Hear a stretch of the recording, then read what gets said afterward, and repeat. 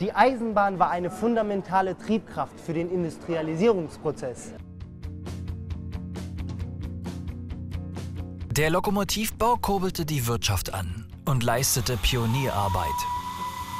Städte und Dörfer werden miteinander verbunden, ganze Regionen leben vom Maschinenbau. Ballungsräume entstehen.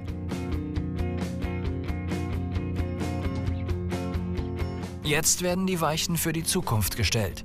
Bahnfrei. Mit Volldampf geht's in die Gegenwart. Der Bahnhof. Das Tor zur Welt. Und zwar für alle Bevölkerungsschichten. Wer es sich leisten kann, reist komfortabel in der ersten Klasse. Das Fahrgefühl. Heute noch wie damals. Stoß an Stoß sind die alten Schienen aus dem 19. Jahrhundert verlegt. Die Lok. Original aus dem Jahr 1896. Restauriert und immer noch fahrtüchtig. Seit 1990 befindet sie sich im Museumsbesitz. Der Waggon. 1887 in Heidelberg gebaut und weit über 100.000 Kilometer gelaufen.